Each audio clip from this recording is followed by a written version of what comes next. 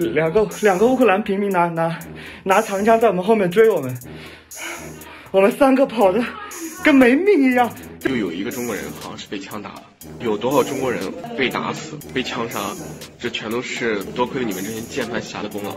中国人在调侃这个战争，调侃这个战争说啊，这个乌克兰地方死的人越多越好。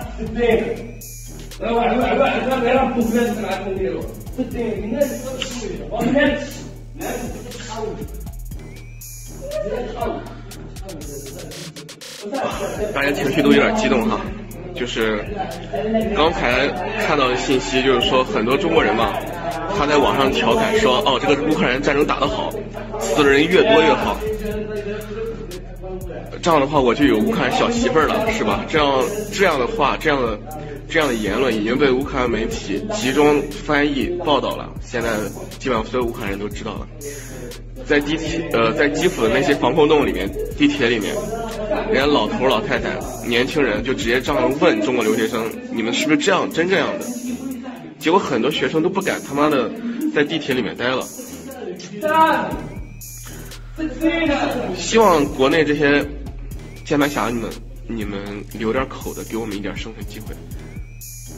你知道今天，今天我在基辅农大的哥们儿在外面，他们是怎么办的吗？有人直接问他们你们是哪国人，然后我们说，然后他们说啊我们是 Japanese，我们连自己，我们连自己是中国人都不敢说，都多亏你们啊，你们就这么，你们就这么缺老婆吗？是啊，你们确实缺，你们你们连。连人都不是了啊！人家战争死这么多人，你们就这么样说死的好，可以有乌克兰老婆在这个地方玩。我们在乌克兰，只要是有华人啊，今天晚上在哈尔科夫的哈大使社那个地方就有一个中国人，好像是被枪打了。以后在这个地方有多少中国人被打死？被枪杀，这全都是多亏你们这些键盘侠的功劳。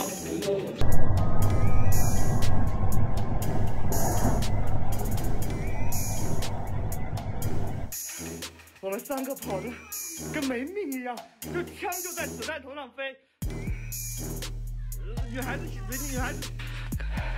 刚才，刚才，刚才，刚才我们遇到枪击了，两个两个乌克兰平民拿拿拿长枪在我们后面追我们。我们三个跑的跟没命一样，就枪就在子弹头上飞。女孩子直接女孩子直接吓哭了。女孩子直接吓哭了。我们安静安静安静，没事没事没事啊，没事没事，没没事没事没事没事没事。不要在窗户附近停留，尽量不要开着亮灯，也不要与当地人员发生争执，更不要出于好奇心拍这拍那，尤其是要远离所有与。军事有关的人和事实。总之，既然是安全高危时期，对自己的安全防范要求，当然就要更特殊和更严格一些。